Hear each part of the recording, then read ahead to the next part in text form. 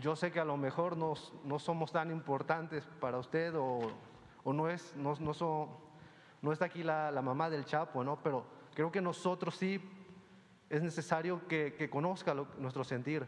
Si está usted en la disposición de reunirse con nosotros, o sea, no, solamente para que nos escuche, para que comprenda lo, por qué seguimos en lucha. ¿no? Y cuando tú hablas de la mamá del Chapo, pues esos son los argumentos, te lo digo con todo respeto, de nuestros adversarios, porque me bajé a saludarla ya este, con ese hecho, tratan de igualarme. Y este, ¿por qué no eh, escucho, atiendo a los familiares de víctimas? Todo el tiempo los estoy escuchando